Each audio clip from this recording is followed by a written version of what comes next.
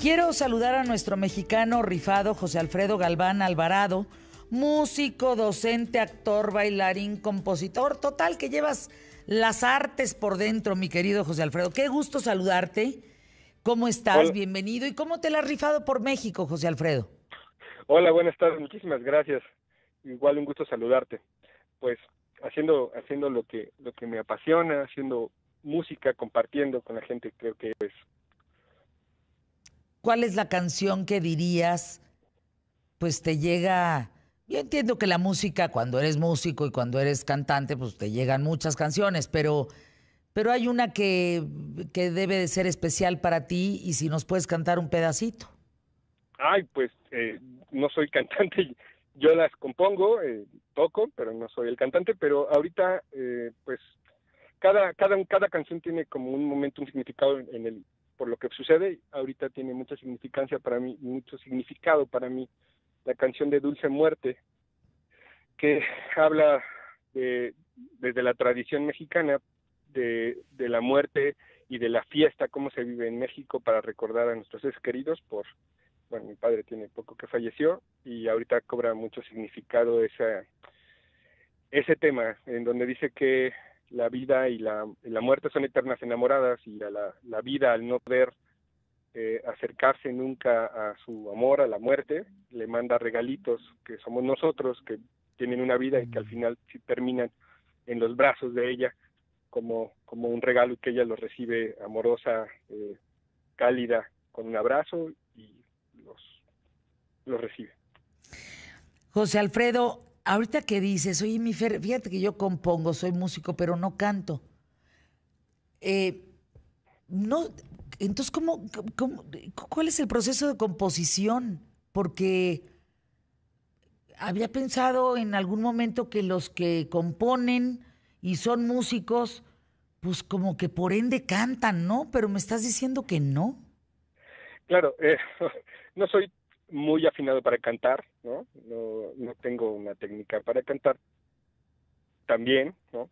Eh, pero mi proceso de composición voy eh, esbozando las melodías con, con, la armonía y trabajo también conjunto con Lupita Buenrostro, que es la voz del proyecto en el que tenemos, y ella es la cantante. Entonces vamos ahí trabajando en conjunto. Ella también compone eh, la melodía, ¿no? A veces trabaja solo ella sobre las letras que hice yo y la armonía que tengo, y ella compone en realidad la melodía de la, de la voz, o a veces ya hay un esbozo de, de la melodía y ella, bueno, sí, o sea, lo que quiero decir es que es parte de tu estructura mental, ¿no? Y creativa.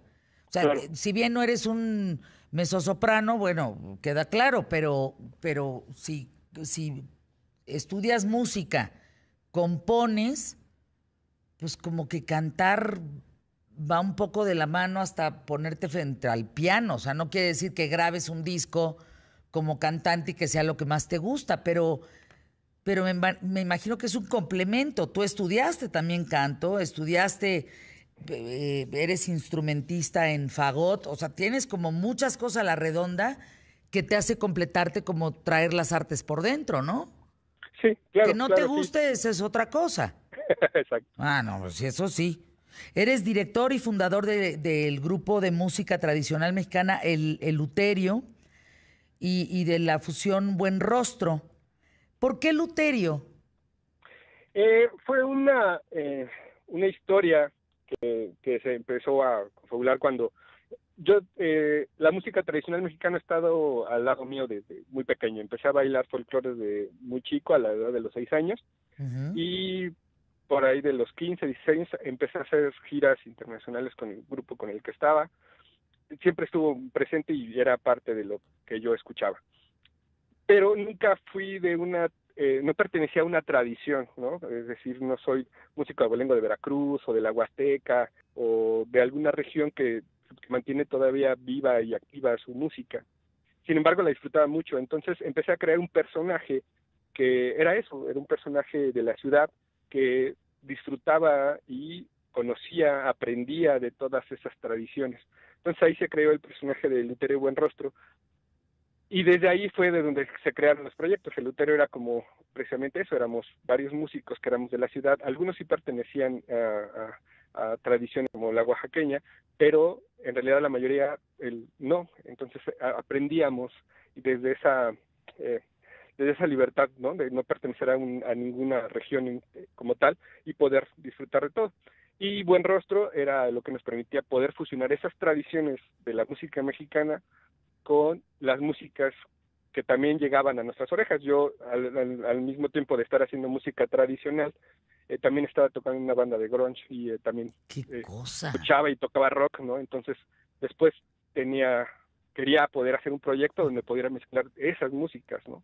¿Quién te puso, o sea, a ver, que bailas y que cantas y que los instrumentos y que, pues, ¿qué era tu mamá y tu papá que hacían o cómo, cómo está el tema? ¿Cómo, era ese asunto en la casa?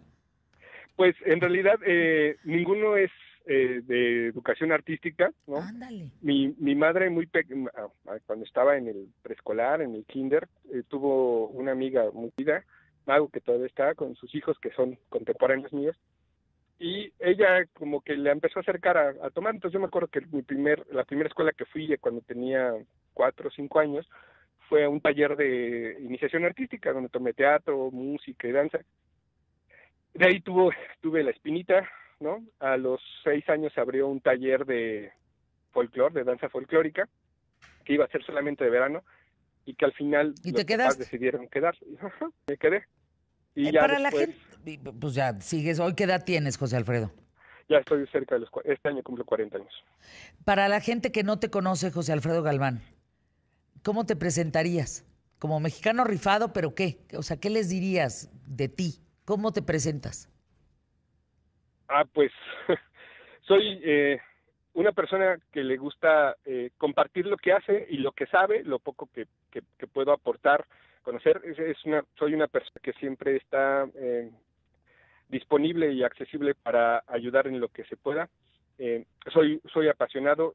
Creo que eh, la, la felicidad es algo que se dice muy fácil y que es nuestra misión o es lo que debería de importarnos estar para estar aquí en este mundo, buscar la felicidad y si algo yo puedo aportar para que lo consigas, seguro, seguro, seguro estaré.